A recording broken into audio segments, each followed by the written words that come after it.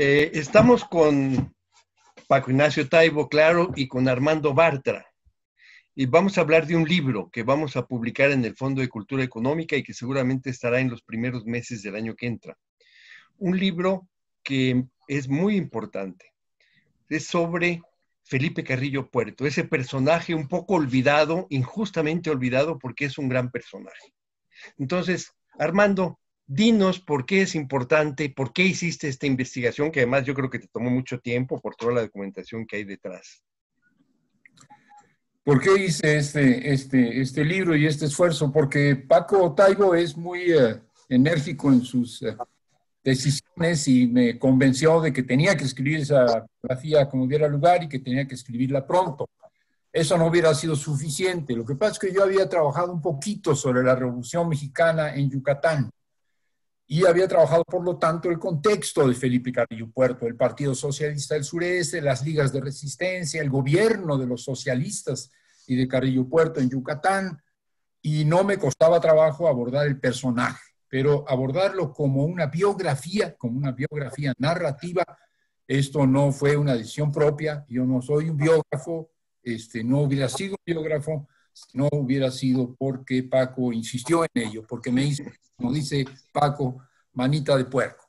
Este, no me arrepiento, por el contrario, creo que es una buena manera de acercarse un multitudinario que a través de este personaje se puede reconstruir bastante bien. Lo que pasa es que Carrillo es mucho personaje, mucho.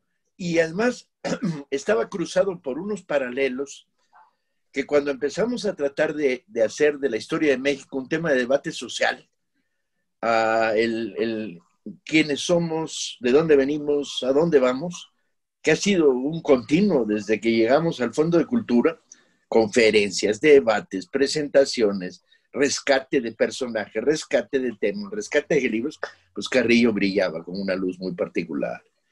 Tenía además unos paralelos muy fuertes con los grandes personajes que quieren, tienen su gran momento después de la Revolución Mexicana, después del cierre de 1920, ¿no? De, la etapa armada victoriosa con el plan de, Agua Prieta.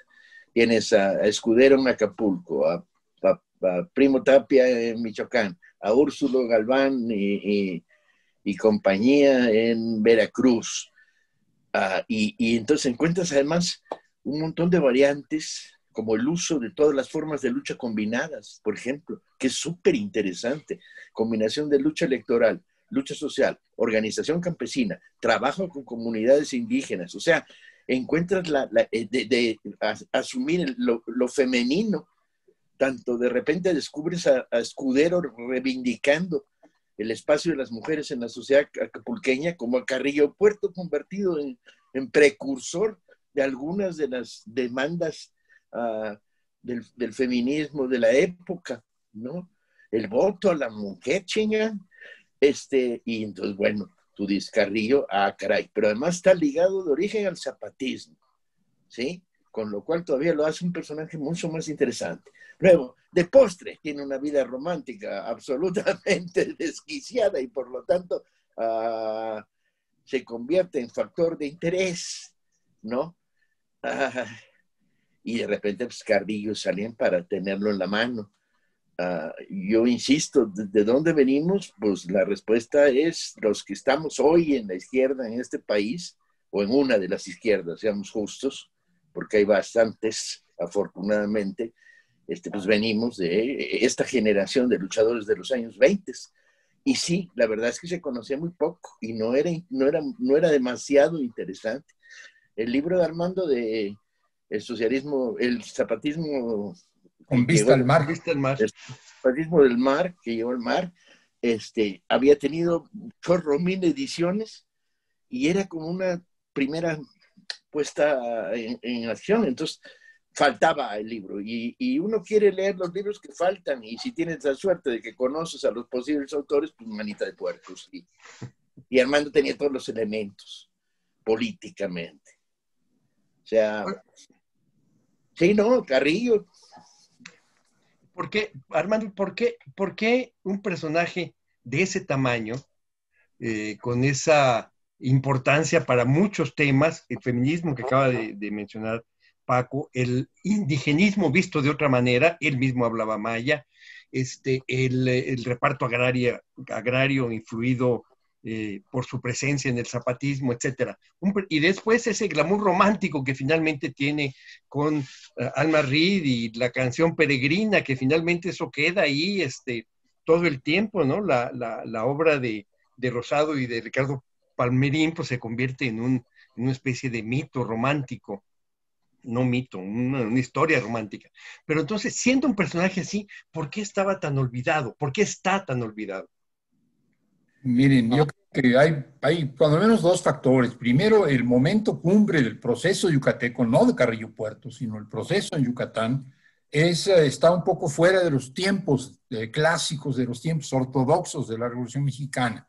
Se desarrolla después del 17, de la firma de la Constitución, y en sus momentos más espectaculares, por cuanto que Felipe Carrillo Puerto y el socialismo está gobernando Yucatán durante dos años, durante el tiempo que se lo permiten, estoy hablando del 23, el 22 y el 23, eh, eh, está un poquito como fuera de tiempo, está desfasado del resto de la revolución. Lo que sucede después del 17 o después del 20 ya no es la revolución mexicana. Y lo que sucede en Yucatán después de, de esas fechas es eh, el momento más importante de la historia de la revolución en Yucatán. Eso por un lado. Y por otro lado, porque es Yucatán. Yucatán, como todos sabemos, no es México. Yucatán es una península que este, pues, está ahí pegada por un istmo, pero que este, hablan de otra manera y viven de otra manera y tienen su propia historia. Esto es una broma, claro, pero no tanto. Eh, resulta que tanto Yucatán es muy yucataquista y muy a veces peninsular, que se llevan mal con los campechanos y mucho más todavía con los de Quintana Roo, porque se les arrebató el territorio. Pese a las diferencias, Yucatán y su visión peninsular es eh, casi de una isla cultural, política, histórica, y también Yucatán para nosotros es un lugar ajeno, un lugar extraño. Es un lugar al que deberíamos haber ido a refugiarnos del coronavirus, si lo respetado, hubiera respetado las, eh, las, las islas, pero no las respeta. Yucatán ha sido visto como parte ajena de la historia de la Revolución Mexicana y de la historia de México en general, y creo que esto está mal. Y la revolución en Yucatán eh, se despliega en su forma más intensa, fuera de tiempo, diríamos, fuera del tiempo del resto de las revoluciones. Paco dijo correctamente, es, eh, son los momentos brillantes de, del agrarismo radical rojo en Veracruz, en Durango, este, de Úrsulo Galván, de José Guadalupe Rodríguez, de Primo Tapia, ciertamente en Michoacán, de los Escudero en Guerrero, pero en el caso de Yucatán no es simplemente una corriente muy radical o un movimiento muy radical, sino es un partido que gobierna, es un partido que gana elecciones, y es un gobierno que hace transformaciones profundas en la estructura de Yucatán, lo que puede hacer en dos años. Entonces, este, ahí tenemos no una corriente revolucionaria, un movimiento social radical, sino una verdadera revolución social, política, económica, un modelo económico diferente este, en años que ya son de posrevolución.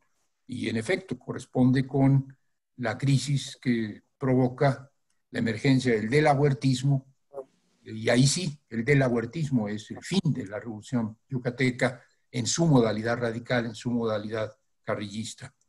Pero este, eh, debo confesar que sí, que es una biografía apasionante y que no comparto, eh, no comparto la exaltación de Peregrina y de su vida romántica, porque eh, en realidad es muy, muy, muy, sí está, lógicamente está en el libro, pero es algo que sucede cuando él ya es presidente y durante algunos meses. Gobernador. Eh, perdón, dije presidente y no es un lapsus completo, porque el modo en que se maneja la política de Yucatán es un modo bastante, bastante eh, como si la federación fuera un referente externo y un peligro y un riesgo y una, y una ventaja, pero siempre como un factor bastante externo.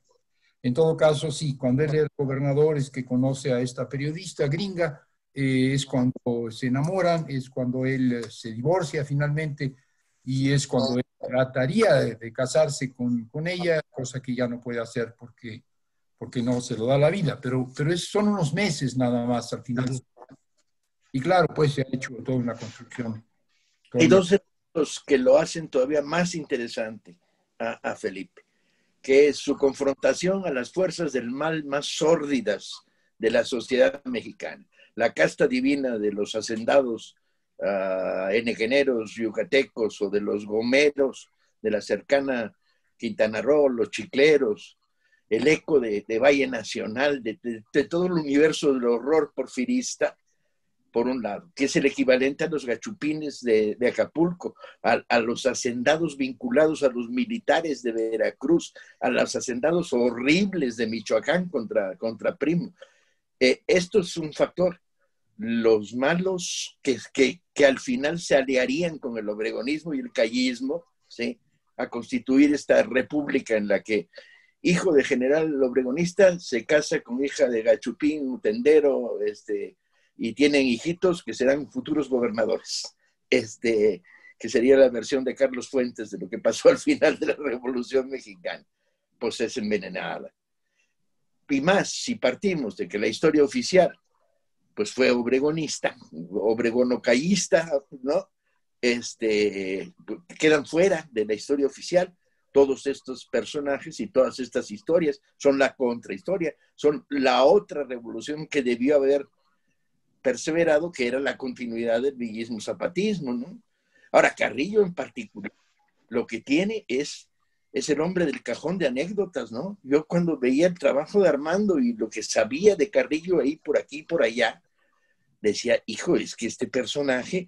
Ah, construye él solo una, una, historia narrativa, pero también construye una novela de la historia, ¿no? Yo creo que por eso te enganchaste tan duro, ¿no, Armando? Sí, claro, claro, claro. Eh, dos, dos, cuestiones al respecto. Uno es interesante eh, cuando dices que se enfrentó a algunos de los más siniestros enemigos a los que se enfrentó la revolución en su momento, la casta divina y el esclavismo, porque la modalidad de trabajo forzado en Yucatán no era la modalidad de trabajo forzado por temporadas de los peones que trabajaban temporalmente en el corte de la caña y luego se regresaban a, su comunidad, que sería, por ejemplo, el caso de Morelos, ni tampoco de los peones acasillados que vivían permanentemente más o menos en la hacienda con algunos derechos, sino eran condiciones de esclavitud, eran una mercancía, se compraban y se vendían los trabajadores de las haciendas enequeneras. Esto, este, en efecto, hace que, que sea un perfil peculiar el, la revolución ahí. Y lo otro es que el retrato más dramático que tenemos de esta situación del sureste, del trabajo forzado, de los eh, castigos corporales, de la violencia contra, contra los hombres, las mujeres, los niños en el sureste mexicano es de John Kenneth Turner. Y John Kenneth Turner es un absoluto contemporáneo de Felipe Carrillo Puerto. Cuando John Kenneth Turner y, este, su compañero y, y conductor este, eh, recorre en Yucatán, Felipe Carrillo Puerto está ahí en Yucatán.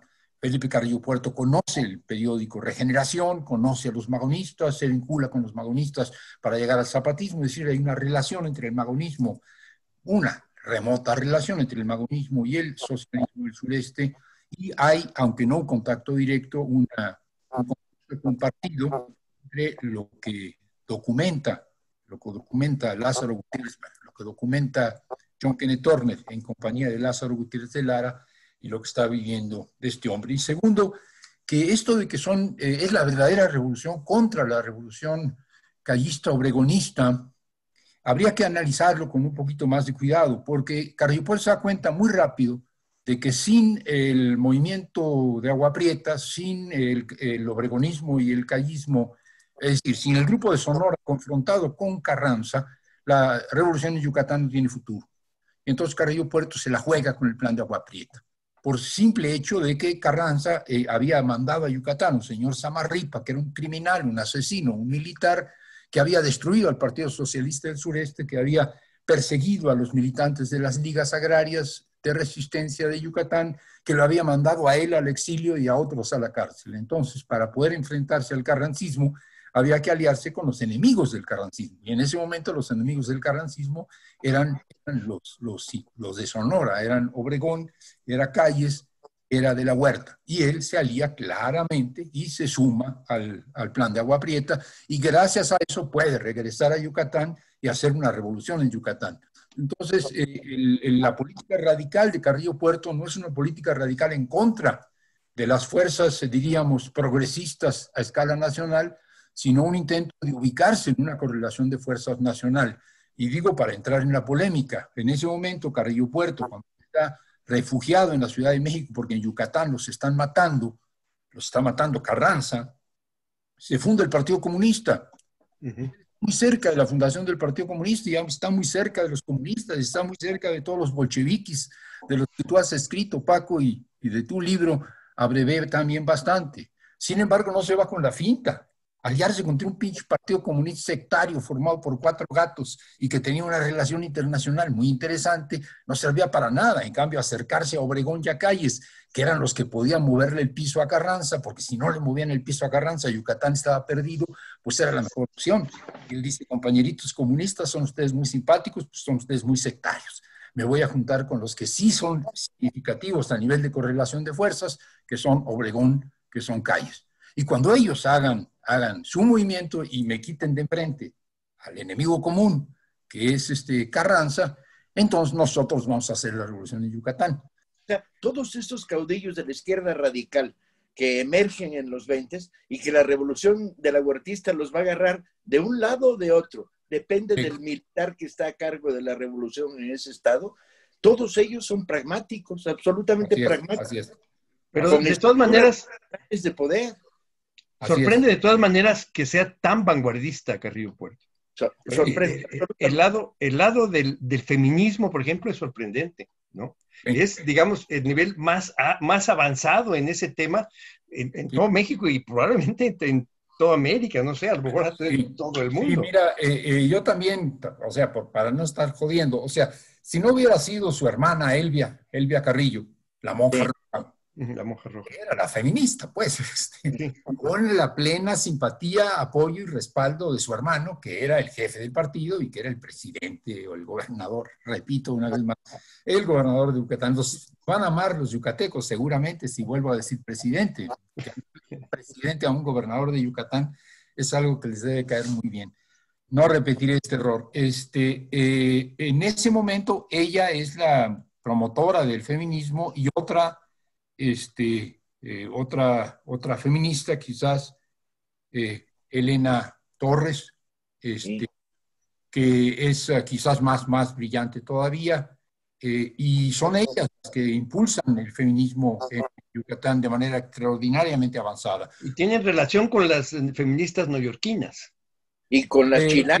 Sí, con, con, Margaret Sanger en particular, una feminista que escribe un libro maravilloso, un folletito sobre el control de la natalidad, sobre cómo las mujeres pueden tener control sobre su propio cuerpo y no embarazarse, que el Señor quiere que se embaracen y no, y no evitar el contacto sexual, porque eso significa el riesgo de volverse eh, eh, madres eh, involuntariamente.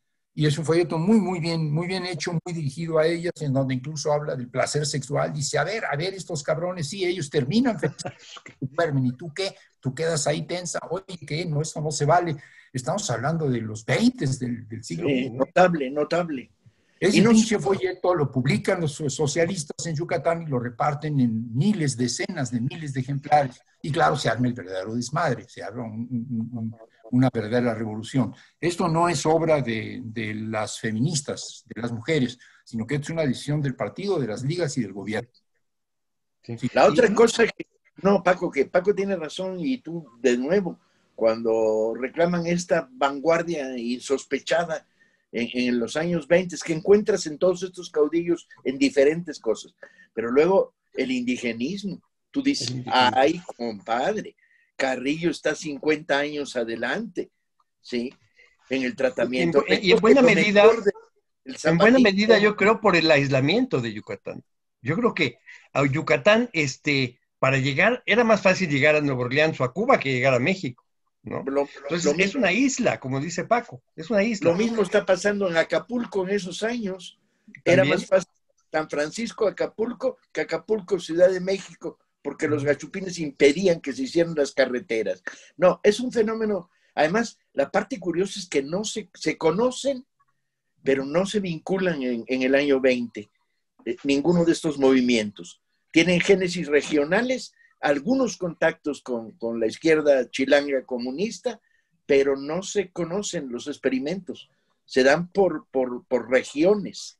Los alacranes, por ejemplo, de Durango, que es otro fenómeno apasionante, no tienen ni idea de lo que está pasando o no, no se sabe que tengan idea de lo que está pasando en Yucatán o en Acapulco. Más sí, son movimientos regionales, ciertamente, ciertamente. Eh, eh, sí, eh, el indigenismo no le gustaría para nada usar ese término a, Felipe Carrillo Puerto. Es, es, muy notable, digamos, Zapata no hablaba náhuatl. Hay un mito, una leyenda de que hablaba náhuatl, él no hablaba náhuatl. Entendía perfectamente que para poder trabajar en ciertas regiones y ciertas comunidades era necesario traducir al náhuatl los manifiestos y hubo quien les tradujo los manifiestos al náhuatl y se manejaron, pero él no hablaba náhuatl. La revolución eh, eh, zapatista, la revolución del Ejército Liberador del Sur, es una revolución agrarista, campesina, radical, sustentada en comunidades en gran medida náhuatl, pero no hay una reivindicación fuerte y expresa de la, del carácter eh, originario de esas tierras, de la identidad, de la cultura y de la lengua. No es tan fuerte. En Yucatán es poderosísimo.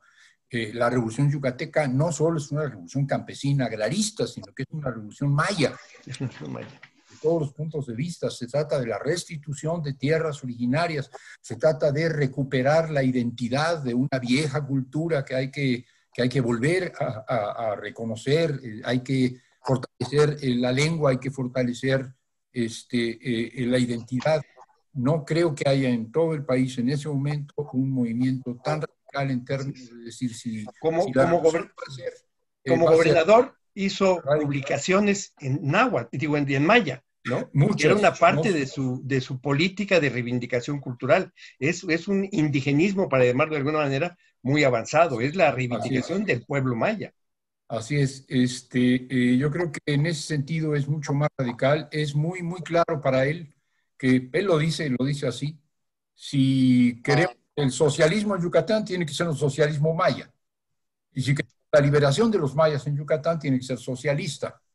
No puede haber un socialismo en Yucatán que no sea maya y no puede haber una verdadera liberación de los mayas que no sea socialista. Está diciendo esto en el entorno de 1917, la primera revolución socialista, del esplendor, pues, de la revolución rusa, de un país eh, también campesino, de un país este, periférico como era Rusia, ¿no? Entonces, el socialismo para él es, hay que hacer una revolución, y si hay que hacer una revolución en la península, hay que hacer una revolución con los mayas, pero la revolución si quiere ser radical tendrá que ser socialista, hay que inventar un socialismo maya o hay que inventar una emancipación maya socialista. En eso se adelanta 10 años a José Carlos Mariátegui, que dice lo mismo en Perú.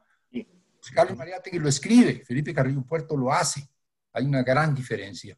En el sentido de pensar cómo carajos debe ser una revolución en regiones donde la fuerza de los pueblos originarios son muy grandes, no en todas las regiones de América Latina es así, no en todas partes de México es así. En Villa no tendría por qué haber ese indigenismo. En Yucatán tiene que haberlo, lo tiene que haber en, Quintana Roo, en, Campeche, lo tiene que haber en Oaxaca, lo tiene que haber en, Tabasco, lo tiene que haber en, el sur de Veracruz, etc. Entonces, y, en Sonora. Este es, sí, claro. Los yaquis vuelven, vuelven de nuevo a levantar la bandera de los pueblos y los derechos originales. Ciertamente, sí. Pero come el obregonismo hasta que los traiciona de la manera más cruda, cruel y marrana. Se me, olvidó que estaba Paco y no puedo decir que no hay indigenismo en el norte del país, porque también en el villismo hay indigenismo, ¿cómo no? Claro que sí. No, pues, este, pero quiero decir, en Yucatán era imposible, era imposible decir, vamos a hacer la revolución sin considerar las reivindicaciones específicas del pueblo maya, pero era imposible en ese momento pensar una revolución sin decir que nos enseña el socialismo. Hay que socializar la tierra, hay que socializar los medios de producción, hay que socializar eh, las, las desfibradoras de Penequén, hay que... Eh, esto por un lado. Por otro lado, y lo digo para, para hacer el comercial de una vez, si uno ve el proceso, eh, el proceso electoral, el proceso político que lleva al triunfo del gobierno de Felipe Carrillo Puerto, eh, lo que ve es un proceso de un partido movimiento, de un partido que es no un partido de guardia, no un partido eh, de cuadros, no un partido ideológico, sino un partido de masas, un partido cuyas bases son las ligas de resistencia. Y estamos hablando eso, ellos dicen, tenemos... Y electoralmente aplasta a su oposición, con números extraordinarios, 60 mil. Sí, pero sin el movimiento social no hubiera podido ganar electoralmente. Hay en el que, hay un momento en el que, eh, en el que era muy fácil para ellos, cuando triunfa el plan de Agua Prieta, regresa Felipe Carrillo Puerto, que estaba en el exilio, regresa a Yucatán y la derecha está derrotada. Y entonces la gente de izquierda que llega con el ejército de ocupación, que llega con las fuerzas de la federación, que ahora ya es eh, Grupo de Sonora, que ahora ya es de la Huerta, ya es Obregón, ya es Calles, llegan a, quedarse con el pastel, a repartirse el pastel, ya ganamos. Entonces vamos a quedarnos con los espacios, vamos a repartirnos las curules, vamos a quedarnos con el gobierno. Y dice, por ni madre, es un golpe político, es un golpe de Estado político. El hecho de que tengamos atrás el ejército federal que acaba de ganarle a Carranza no quiere decir que vamos a ocupar los puestos. Necesitamos ganarlos en las urnas. Hay que ganar las elecciones si queremos gobernar este lugar. Y se organiza un proceso electoral intenso y llega al gobierno Felipe Carrillo Puerto con un triunfo electoral contundente, después de una campaña electoral, cuando tenía la fuerza militar para simplemente ocupar el puesto. Entonces hay un proceso interesante de un partido que decide que se la va a jugar la vía electoral que va a hacer actividad política, que hace dos congresos muy importantes, que eh, tiene un trabajo parlamentario muy significativo y que después gobierna de manera muy integral. Por ejemplo, el tren Maya. una de las cosas que promueve. Lo, que está quedando claro es que va a ser un libro indispensable el tuyo, hermano. Absolutamente. Pero de verdad, creo que, por ejemplo, el tema de las vías de comunicación para la península, carreteras y tren, es una parte fundamental de la política de Carrillo Puerto. El tema de eh, recuperar la importancia de los restos arqueológicos y de las ruinas, porque son el símbolo de la cultura maya con el cual se fortalece moralmente el pueblo yucateco.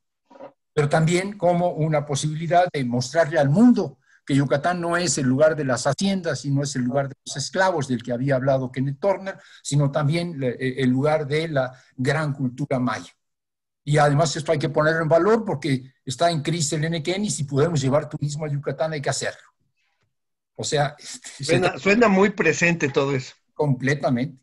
Además hay que promover los deportes, por ejemplo el béisbol, que era este, otro deporte que más le gustaba a Felipe Carrillo Además, que tenía grandes facultades como beisbolista, que pudo haber sido beisbolista profesional.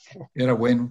Entonces, en efecto, hay una serie de espejos. Es increíble. Interesantes. Increíble. no son se están, se están reuniendo una historia, toda una serie de rebotes pasado, presente, eh, reivindicación de ciertos momentos, ciertos personajes de la historia, reflexiones sobre la unidad nacional que no puede pasar por otro lado, que no sea por las comunidades campesinas, las cooperativas, las ligas agrarias, ¿no?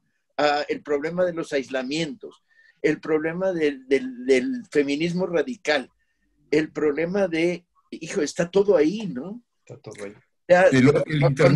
De, dónde venimos? Pues este, los aquí presentes no nos queda otra que decir. Pues venimos de Carrillo Puerto, por eso estamos donde andamos.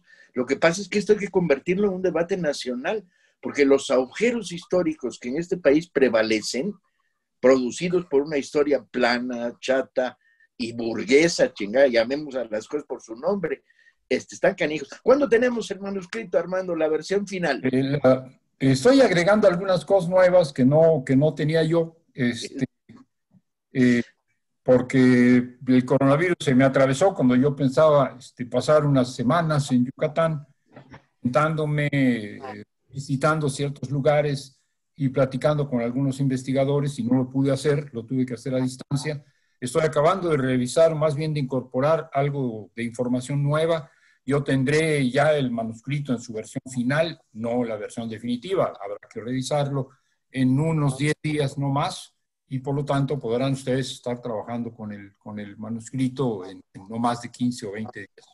Pero déjame decir que yo ya leí el manuscrito en su versión, digamos, anterior y ya está prácticamente terminado ese libro. Entonces, en 10 días tendremos la versión final el título muy afortunado, Sucum, no sé cómo se pronuncia. Sucum, Felipe, no, tampoco lo pronuncio muy bien, pero quiere decir hermano o hermano sagrado, Sucum Felipe. Así le va, a ser, va a ser un gran libro y va a tener grandes repercusiones, yo creo, en todo el país y desde luego en Yucatán y en la península. Vamos a intentar irlo a toda velocidad, a ver si podemos tenerlo los últimos días de este año, los primeros del año que viene, ¿no? Ah, y sí, entrar al debate. que ladren los historiadores conservadores para poderles devolver la, leña en cantidades dobles de las que ladren. Ah, yo creo que es un libro importante y que forma parte de todo un proceso en que tenemos que tener eh, en las mesas del fondo a, Carrillo, a Escudero, a Primo Tapia, a las ligas, las ligas, las ligas agrarias veracruzanas, a los alacranes de Durango creo que es una de nuestras tareas poner la historia olvidada en el, en el centro del debate de, de quiénes somos, de dónde venimos y a dónde vamos. Sin duda. Y creo que además no mencionaste, pero eh, el revisar, por ejemplo, estos procesos regionales, Yucatán en particular, permite repensar también el propio zapatismo, zapatismo de Morelos, Puebla, Oaxaca, etcétera. Eh, porque eh, porque el fenómeno es muy parecido, es una, región de eh, y agroindustria enequenera que ha aplastado a las comunidades mayas, y en el otro caso una zona de una agroindustria cañera azucarera que ha aplastado a las comunidades náhuatl, y una reivindicación del regreso a la tierra, el regreso al maíz, etcétera, en los dos casos, y en los dos casos un interesante planteamiento pragmático de cómo una vez que tienes el poder en tu región, no vas a aniquilar la agroindustria, sino que vas a transformar la agroindustria y ponerla al servicio del proceso de transformación, en los dos casos. Y eso hoy es interesante porque para muchos eh, eh, la tarea es destruir aquello que ha sido, eh, que ha hostigado a los pueblos. En el caso de Morelos, Zapata dice, pues no vamos a acabar con los ingenios, porque los ingenios nos dan un ingreso económico y generan empleo. Y en Yucatán dirá Carrillo Puerto, sí, tenemos que repartir la tierra y volver a sembrar maíz, porque si no nos morimos de hambre, pero no podemos destruir la industria enequenera, porque la industria enequenera es la que nos da ingresos y además genera empleo. Este pragmatismo, esta necesidad de combinar, por un lado, una actividad intensiva comercial y, por otro lado, la actividad campesina, autoconsultiva, es algo que, en Yucatán queda muy claro y que hay que repensar hoy, porque también las lecturas de la historia nos llevan a una visión izquierdista, unilateral, de procesos muy, muy visitados, muy conocidos, como sería el propio zapatismo de Morelos. Eh, yo empiezo el libro, es el comercial, precisamente con Carrillo Puerto, escuchando a Zapata decir que hay que volver a sembrar caña en Morelos. Y el desmadre que esto ¿No, no dijiste que hay que sembrar maíz, cabrón? Pues porque hay que sembrar caña, porque con el puro maíz no, no, no vivimos, necesitamos también sembrar caña. No da, no da. Entonces Felipe se va a Yucatán y dice, pues sí, hay que sembrar maíz. No puede ser. Hay otra faceta que el libro aborda, que es Felipe Carrillo Puerto, no solo es agrarista, es agrónomo. Agrónomo, bueno, ¿Eh? y agricultor, él sembraba, él sabía sembrar. Bueno, tiene muchas, muchas, muchas virtudes. Es chapinguero, Felipe Puerto, chapinguero. bueno. No era chapinguero, pero bueno. Estaba a la esquina y es precursor de las medidas de... Ah, ahí andaba con Zapata midiendo los terrenitos con, con unos mecates. Sí, sí, este es otro aspecto notable. Es decir, eh, eh, hoy estamos hablando de soberanía alimentaria, estamos hablando de la vuelta a la milpa, estamos hablando de la importancia del maíz, estamos hablando de, la, de, las condiciones agroecológicas, de una agricultura sustentable. Y exactamente esto es lo que se estaba discutiendo en el Congreso del Partido Socialista, el Congreso Fundacional en Motul. Precisamente la vuelta al maíz, las condiciones para la vuelta al maíz, un manejo del maíz eh, más sustentable, no quemar, no meter química, este, producir tus propios alimentos para no tener que importarlos de Estados Unidos o de Argentina, la soberanía alimentaria, la seguridad, eh, el darle al campesino eh, eh, la confianza en sí mismo, que es sus propios alimentos.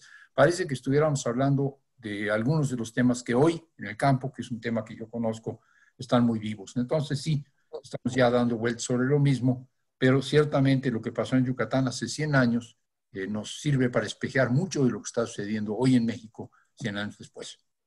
Muy bien. Compren el libro cuando el Fondo de Cultura lo publique y que el Fondo de Cultura vuelva a imprimir libros, ¿no? Porque últimamente no ha podido imprimir muchos. No, no te han llegado a tu casa. Estamos sacando todas las semanas seis o siete libros. ¿Ya? ¿Otra vez? Ya. Sí, ya volvimos a la vida. Bueno, bien, esta entrevista va a tener dos versiones. La versión recortada, que es la que ustedes van a ver ahora de unos 10 minutos en Desde el Fondo, y la versión completa que sacaremos en el momento en que esté el libro. Órale. Muy bien.